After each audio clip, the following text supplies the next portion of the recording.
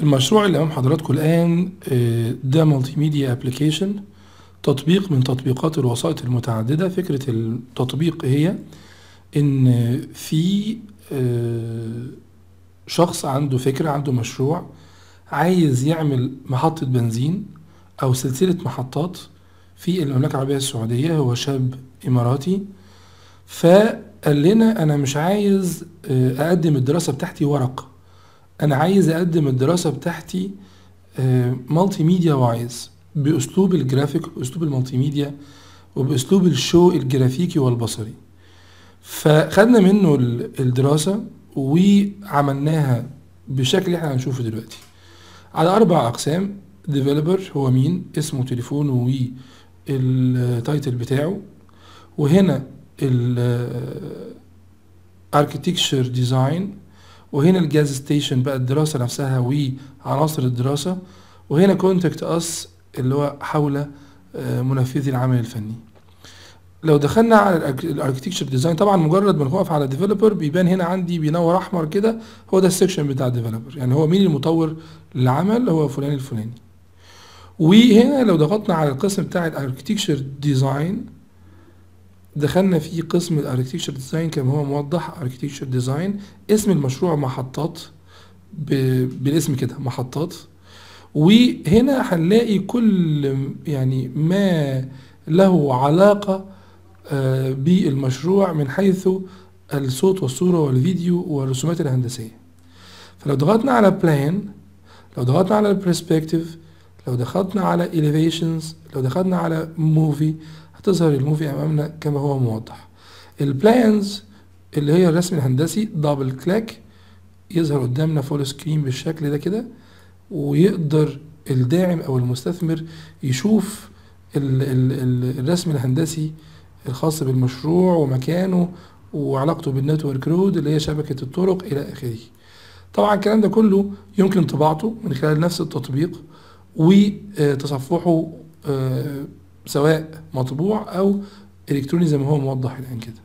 وأقدر عن طريق next عن طريق previous أتحكم في عدد الرسومات اللي موجودة double click يعمل لي full screen double click تاني يرجعه في آه، حجمه داخل ال application مش full screen هنا المشروع متقسم على مراحل في محطات Oasis Grand وفي محطات Oasis ومحطات Oasis Express ومحطات City Grand ومحطات City ومحطات City Express أيضا ال controller اللي هو المتحكم ده في العمل كامل زي إحنا شايفين. ال perspective لكل واحدة من دول يعني لو قلت له مثلا محطات Oasis اديني ال perspective بتاعها. لو قلت له اديني مثلا محطات City Express اديني ال elevations بتاعتها أو ال plan لو ليها plan perspective elevation ملهاش ملهاش elevations أو خش لي على ال movie بتاعها مباشرة. ده ال movie أقدر بقى أتصفح ال movie يعني داخل ال movie أقدر أقول له اديني ال movie بتاع محطات Oasis Grand أو كاتب لي Oasis Grand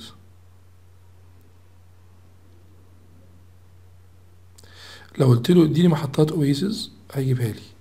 تعالوا نشوف مثلا آه، الفيديو بيستعرض على سبيل المثال اللي هي المحطات Oasis double click أيضا يديني full screen ده رسم 3 دي كامل لوضع محطة البنزين في المكان اللي بالفعل هتتعمل فيه. والفكرة هي إن صاحب المشروع بيقول للمستثمر إن ال- ال- اللي معطلنا فقط عن إن الحلم ده يتحقق أو الصورة دي تكون انك فقط تدعم أو تستثمر.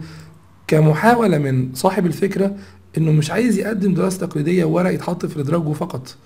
ده هو عايز يقدم المشروع بتاعه بهذا الشكل الاحترافي علشان يبقى القرار أقرب وفي نفس الوقت يستطيع المستثمر إن هو يكون ملم بالحالة وال- والإحساس والمعلومات والشكل الفني والصورة التي سوف يكون عليها المشروع. back بيرجعنا للصفحة الرئيسة.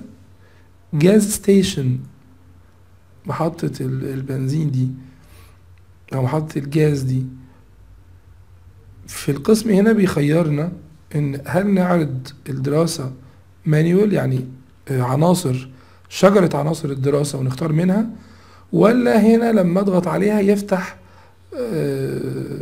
PowerPoint presentation أو automatic PowerPoint presentation لو قلنا manual presentation هذه العناصر. مثلا عايز تخش مثلا على ال road network شبكة الطرق تضغط يديك معلوماتها ويديك صورة حية live عنها. الدراسة كلها ماشية كده. برضو حتى ال- الأرقام مصحوبة بصور. أقدر إن أنا أتصفح باقي عناصر الدراسة وأنتقل ما بينهم بالشكل ده. أو إن أنا أختار من gas station اللي هي ال auto presentation فلما أضغط عليه يديني PowerPoint presentation PPS PowerPoint show كامل أستعرض من خلاله ال- آه، كما هو موضح. دي كانت فكرة multimedia application بيستعرض دراسة جدوى بشكل مرئي ومؤثر و 3 دي 100%